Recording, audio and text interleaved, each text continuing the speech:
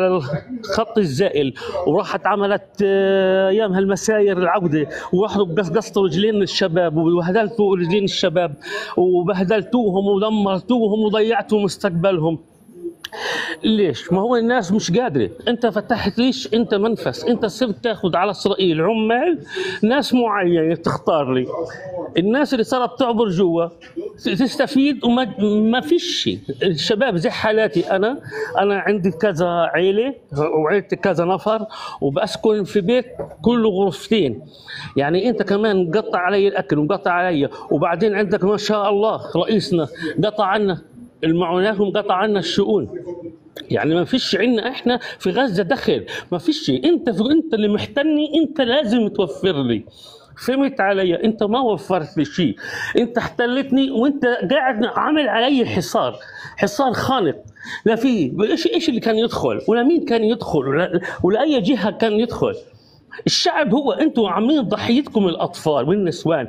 قاعد انت بتضغط لي على حماس وبتضغط لي على المقاومة. إيش دخل الأطفال والنساء والبيوت؟ انت مشكلتك مع ناس ثانية مش معنا إحنا. إحنا شعب. أنتوا إحنا مقلوبين من 48 فيش عنا دخل ولا في عنا حياة ولا في أكل ولا في شرب ولا في شيء. إذا انت انت إنت دمرتنا قبل 7 أكتوبر. انت إيش عملت أنت؟ ما سويت شيء. إنجاز إنت عملته ما فيش شيء. إنجاز الشعب. حتى الشعب إيش؟ انباد على بكرة أبيه الحين أنت إيش بدك في اللي, اللي, اللي في اللي وص- وصلت العشرين وصلت حوالي خمسين ألف شهيد. ليش؟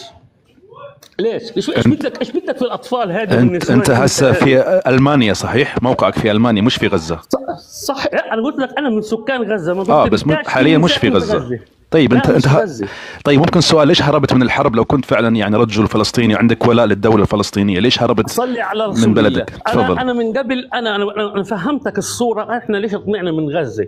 إحنا طلعنا من غزة قبل الحرب. أنا طلعت السنة اللي فاتت في شهر اثنين على ما أعتقد 2 2 2023 أنا طلعت من كبد ما طلعتش من وسع طلعت من دياج بطلت ست اشحد اللقمة أنا واولادي بقول لك الرئيس تبعنا إيش سوى فينا؟ انت هربت من, من, من انت هربت من إسرائيل ورحت